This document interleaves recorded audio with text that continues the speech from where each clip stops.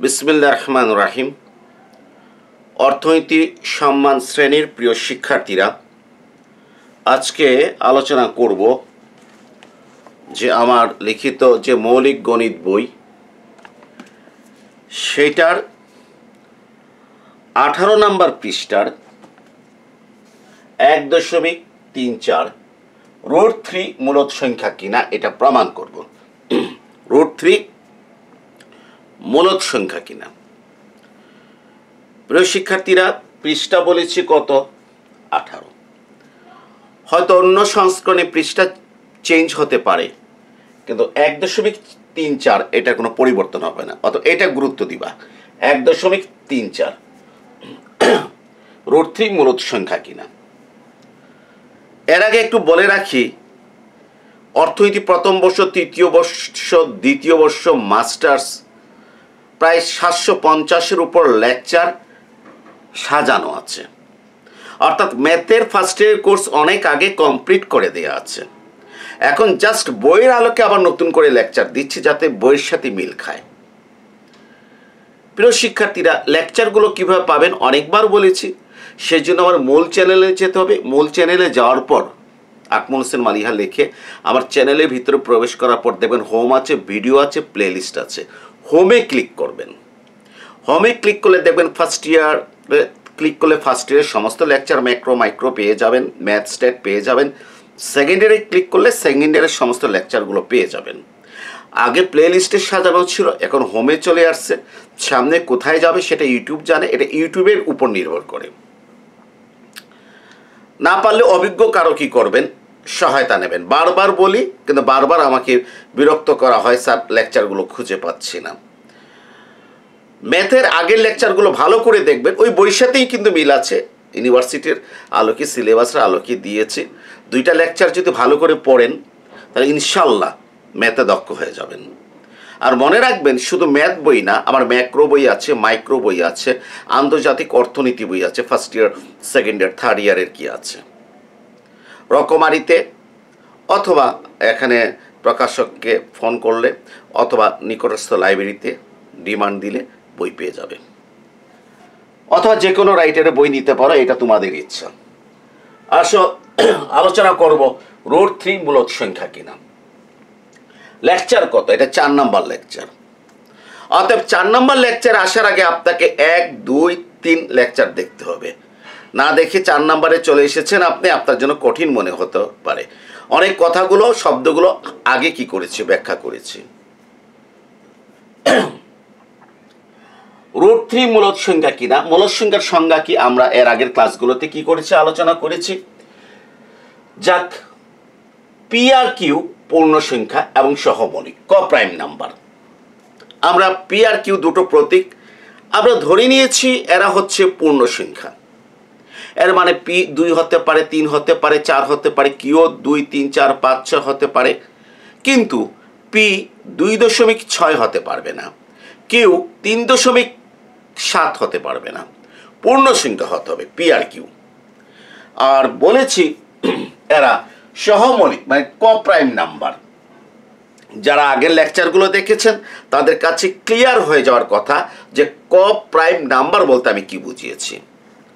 ক prime number হচ্ছে যাদের সাধারণ গুণনীয়ক শুধুমাত্র ওয়ান ওয়ান অন্য কেউ নাই। যেমন তিন আর পাঁচ, এদের সাধারণ গুণনীয়ক হচ্ছে কত ওয়ান অতএব তিন আর পাঁচ হচ্ছে কি? কা প্রাইম নাম্বার, সহমৌলিক সংখ্যা। তিন আর ছয়, তিন আর ছয় সাধারণ গুণনীয়ক একও আছে। আবার তিন ও ছয় তিন দ্বারা বিভাজ্য, ছয় দ্বারা বিভাজ্য, অর্থাৎ তিনও সাধারণ গুণনীয়ক অর্থাৎ তিন আর ছয় কখনো ক প্রাইম নাম্বার বা সহমৌলিক সংখ্যা হবে না। তাহলে পি আর কিউকে যখন আমরা সহমৌলিক সংখ্যা বলেছি, তাহলে অবশ্যই পি আর কিউ কি? সাধারণ গুণনীয়ক ওয়ান মূলত সংখ্যা হতে হলে পি আর কিউ পূর্ণ সংখ্যা হতে হবে, সহমৌলিক সংখ্যা হতে হবে। আরেকটা শর্ত হচ্ছে Q not equal to zero Q not equal to zero Q এর মানটা শূন্য হতে পারবে না। এখন রুট থ্রি যদি একটা মূলত সংখ্যা যদি হয় তাহলে অবশ্যই রুট থ্রি ইকুয়াল টু কত হবে? পি বাই কিউ এই আকারে প্রকাশ করা যাবে। রুট থ্রি যদি একটি মূলত সংখ্যা হয় মানে একটা রেশনাল নাম্বার যদি হয় রুট থ্রি অবশ্যই রুট থ্রিকে পি বাই কিউ আকারে প্রকাশ করা যাবে, যেখানে পি আর কিউ হচ্ছে পূর্ণ সংখ্যা এবং একই সাথে ক প্রাইম নাম্বার মানে সহমৌলিক সংখ্যা এবং Q not equal to zero Q এর মানটা শূন্য নয়। এই আকারে প্রকাশ করা যাবে। যদি এই দুইটা শর্তের কোনো একটি শর্তের লঙ্ঘন হয়, তাহলে কিন্তু রুট থ্রি মূলত সংখ্যা হবে না রেশনাল নাম্বার হবে না। প্রিয় শিক্ষার্থীরা, একটু পরীক্ষা করে নিই। ঠিক আমার বইতে যেভাবে আছে, আমি সেভাবেই লিখছি। আমি কি করলাম? উভয় পক্ষে বর্গ নিলাম। বর্গ নিলে এটা থ্রি হয়ে যাবে, এটা কত হয়ে যাবে? P square by Q square উভয় পক্ষে যদি বর্গ নেই রোড থ্রিটা থ্রি হয়ে যাবে পিটা পি স্কোয়ার কিউটা কত হয়ে যাবে কিউ স্কোয়ার হয়ে যাবে। ঠিক আছে?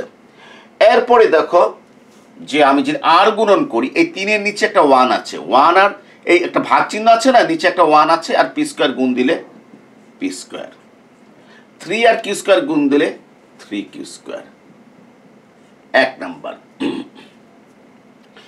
প্রিয় শিক্ষার্থীরা, এখানে থ্রি কিউ স্কোয়ার হচ্ছে তিনের গুণিতক। থ্রি কিউ স্কোয়ার কার গুণিতক? তিনের গুণিতক। এর তিনের গুণিতক মানে কি? থ্রি কিউ স্কোয়ারটা তিন দ্বারা নিঃশেষে বিভাজ্য। আমি যখন বলব তিনের গুণিতক, তিন দ্বারা নিঃশেষে বিভাজ্য। আমি যদি বলি দুইয়ের গুণিতক, দুই দ্বারা নিঃশেষে বিভাজ্য। দুই দ্বারা এই ওই সংখ্যাটা মানে থ্রাইস কিউ স্কোয়ারটা নিঃশেষে বিভাজ্য। এই জন্য থ্রাইস কিউ স্কোয়ার হচ্ছে তিনের কি? গুণিতক। তিনের গুণিতক। ঠিক আছে? যেমন আমি বলছি, একটা উদাহরণ দিয়ে তোমাকে দেখাচ্ছি। ধরো থ্রি কিউ স্কোয়ার মনে করো পাঁচ। তিন আর পাঁচ থ্রি কিউ স্কোয়ার তিন ইন্টু পাঁচ সমান কত? পনেরো। এই পনেরো তিন দ্বারা বিভাজ্য কিনা? অবশ্যই তিন, পাঁচ পনেরো বিভাজ্য। অত পনেরো হচ্ছে তিনের গুণিতক আর তিন হচ্ছে পনেরো এর গুণ নিয়ক আচ্ছা আবার দেখো, তিন কিউ স্কোয়ারটা মনে করো ছয়। তাহলে তিন, ছয় কত? আঠারো। এই আঠারো হচ্ছে তিনের গুণিতক, আঠারো হচ্ছে গুণিতক আর তিন হচ্ছে আঠারো এর গুণ নিয়ক আচ্ছা আমি কি স্কোয়ারের জায়গায় সেভেন দিলাম। তিন সাতা কত? একুশ। এই একুশ হচ্ছে, এই একুশ হচ্ছে তিনের কি? গুণিতক। এই জন্য যেহেতু কি স্কোয়ারকে আমরা তিন দ্বারা গুণ করেছি ডেফিনেটলি থ্রাইস কি স্কোয়ার তিনের কি? গুণিতক। তাহলে থ্রাইস কি স্কোয়ার যদি তিনের গুণিতক হয়, তাহলে পি স্কোয়ারও কি? তিনের গুণিতক। লেখা যায় কিনা স্যাররা? অবশ্যই কি লেখা যায়? থ্রাইস কি স্কোয়ার মানে কি? P square. Thrice K square যদি তিনের গুণিতক হয়, তাহলে পি স্কোয়ার অবশ্যই কি?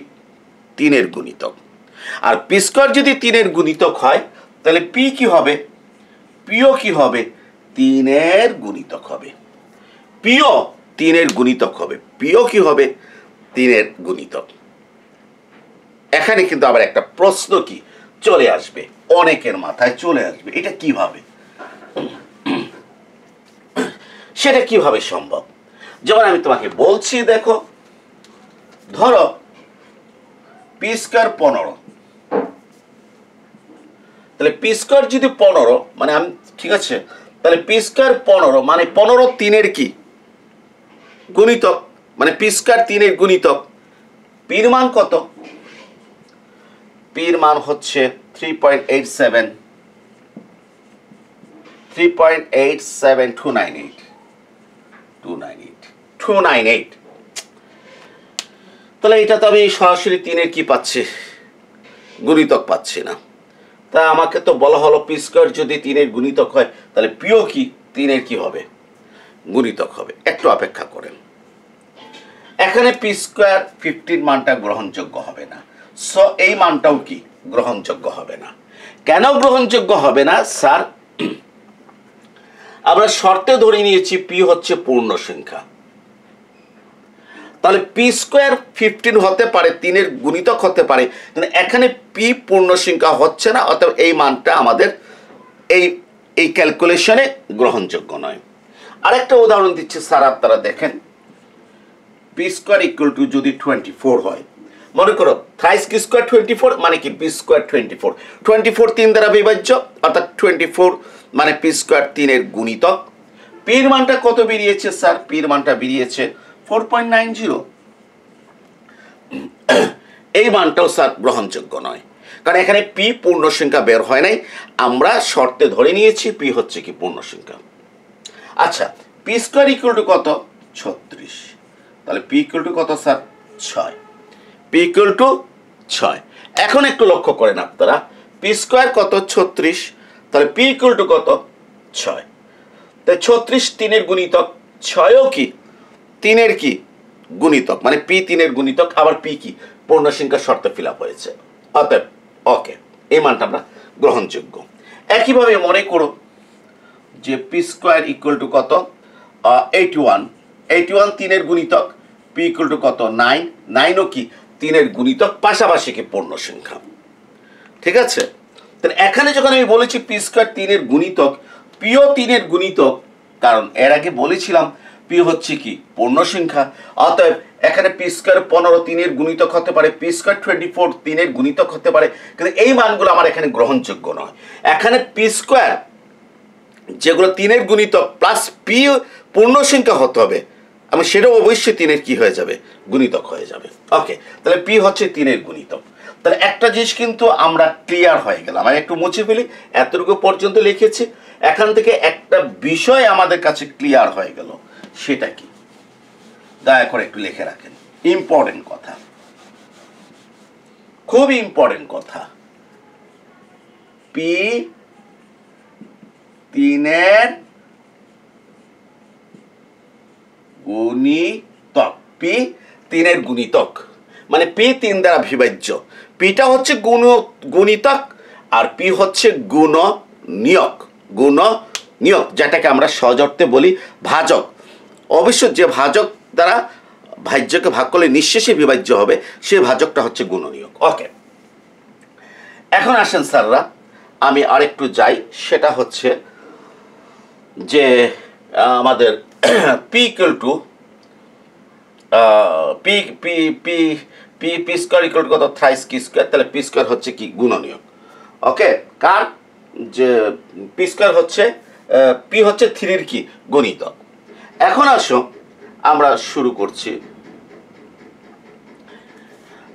পি যদি তিনের গুণিতক হয়, ঠিক আছে? তাহলে অবশ্যই P equal to thrice N লেখা যায়। অবশ্যই অবশ্যই কি লেখা যায়? পি ইকুয়াল টু কত? থ্রাইস এন মানে থ্রি এন লেখা যায়। কেন স্যার এটা তো একেবারেই সহজ। আপনি একটু আগে বলেছেন পি হচ্ছে কি? তিনের কি? গুণিতক। তাহলে কোনো সংখ্যাকে তিন দ্বারা গুণ করলে অবশ্যই সেই সংখ্যাটি তিনের গুণিতক হবে। একটু আগে বলেছিলাম থ্রি ইন্টু এন যদি টু হয়, তাহলে কত? সিক্স মানে পির মানটা কত? সিক্স সিক্স কি তিনের কি গুণিত, গুণিতক? ওকে তাহলে পি ইকুয়াল টু লেখা যায়।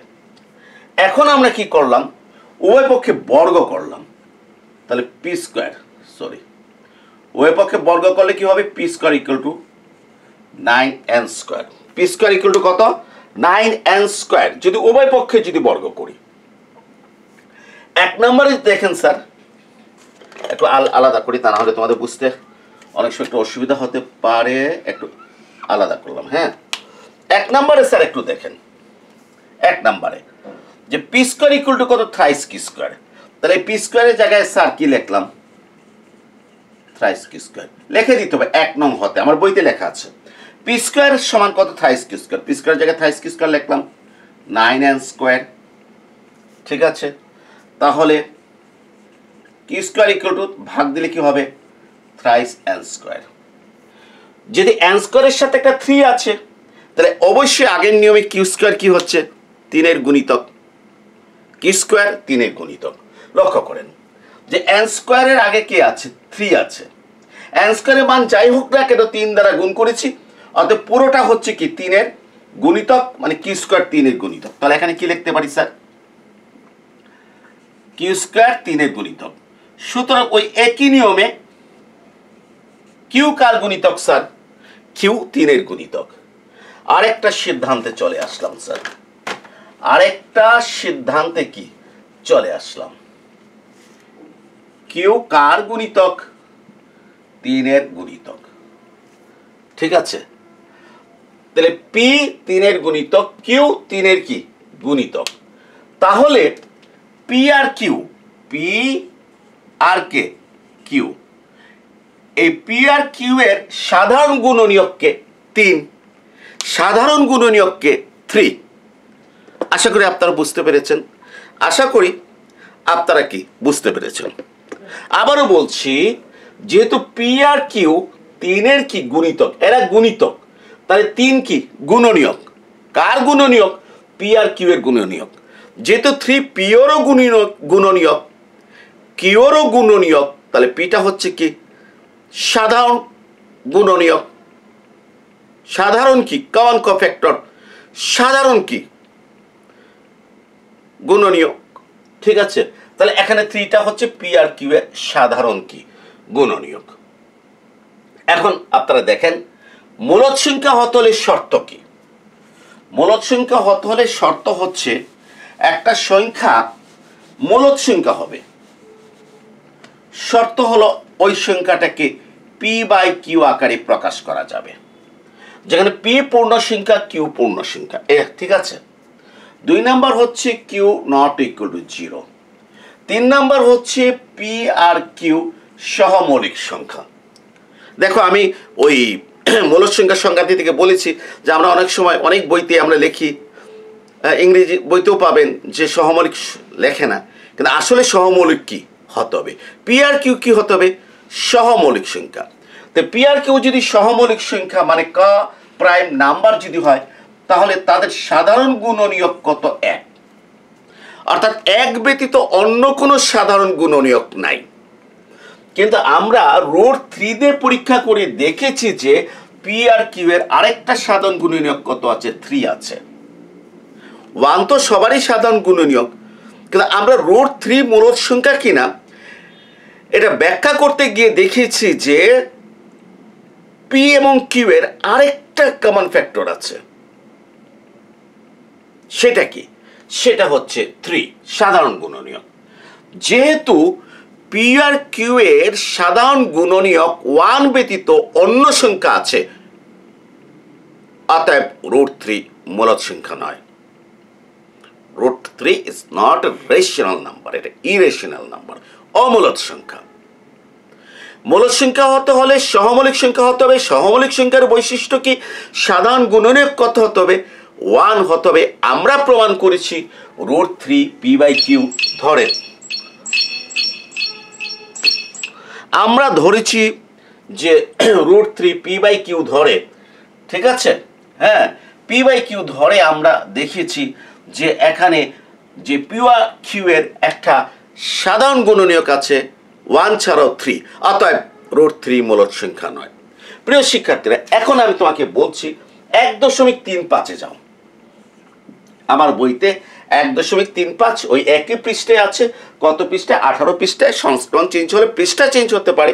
কিন্তু এক দশমিক তিন পাঁচ এটা চেঞ্জ হবে না। বলেছে রুট ফাইভ মূলত সংখ্যা কিনা। তা এইটা যেভাবে বুঝিয়েছি, ওইটাও কিন্তু ওইভাবে। ক্লিয়ার এখানে হয়তো থ্রাইস পি স্কোয়ার পেয়েছেন সেখানে পাবেন ফাইভ কি স্কোয়ার এর মানে পি স্কোয়ার হবে পাঁচের কি?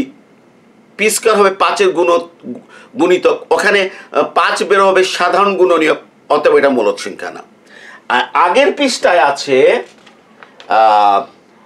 এক দশমিক তিন তিন। এক দশমিক তিন তিনে আছে আগের পৃষ্ঠায়। হ্যাঁ রুট থ্রি মূলত সংখ্যা কিনা প্রমাণ করো। হ্যাঁ সেখানে দেখবেন রুট থ্রি এর থ্রি এর রুট টু এর সাধারণ গুণনীয়ক কত বেরিয়েছে? দুই বেরিয়েছে। অতএব রুট টু মূলত সংখ্যা নয়। অর্থাৎ প্রত্যেকটা প্রমাণ একই টাইপের আমি তোমাদেরকে রুট থ্রি করে দিয়েছি।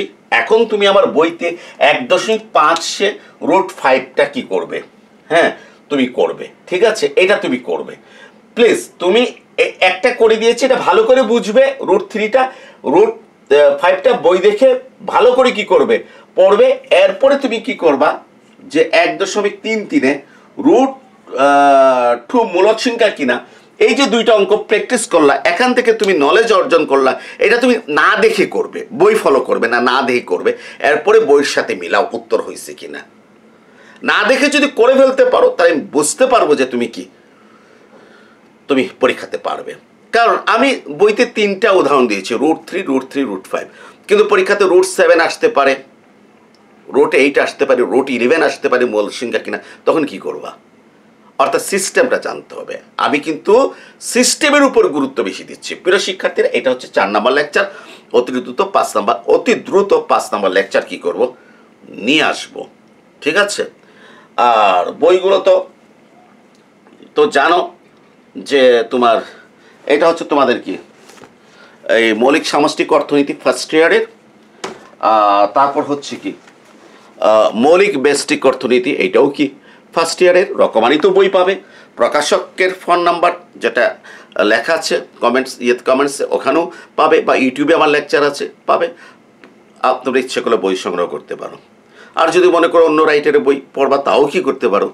পড়তে পারো। সবাই ভালো থাকো সবাইকে ধন্যবাদ জানিয়ে আজকে লেকচার এখানে শেষ করছি।